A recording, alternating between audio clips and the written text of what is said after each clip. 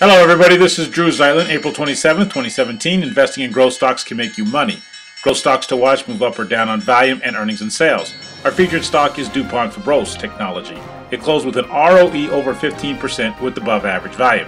DuPont Fabros Technology, a real estate investment trust, engages in the development, operation, management, and lease of large scale data center facilities in the United States. DFT has sales of 528 million with a respectable ROE of 16%. EPS this year is an off the charts 519%, and next year's EPS checks in at 8%. The EPS quarter over quarter is an outstanding 135%. The DFT chart shows us a cup with a handle base. The stock fought its 50 day until breaking above the line in above average volume. The handle bounced off the 50 day and now a new 52 week high in big volume. Get the top 20 stocks emailed daily to you absolutely free, fun, fast, and trusted at drewzeitlin.blogspot.com.